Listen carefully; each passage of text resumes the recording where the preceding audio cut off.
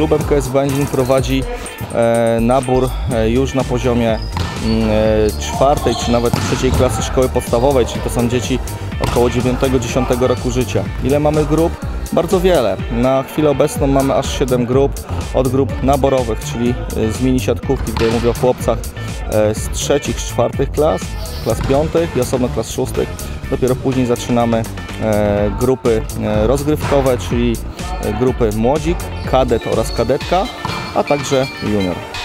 Od wielu, wielu lat, wielu pokoleń tak naprawdę mamy tutaj e, sukcesy w młodzieżowej siatkówce. Patrząc przez pryzmat ostatnich 5 czy nawet 10 lat, e, nie przypominam sobie roku, w którym nie zdobylibyśmy przynajmniej dwóch medali na poziomie albo rozgrywkowym, czyli kadet, e, młodzik kadet e, junior, czy też mini siatkówce. E, No szkolenie wydaje nam się, że jest tutaj e, stabilne. E, Pracujemy z fantastycznymi ludźmi, fantastycznymi trenerami. Tworzymy tutaj zgrany zespół, który wymienia się na co dzień doświadczeniami.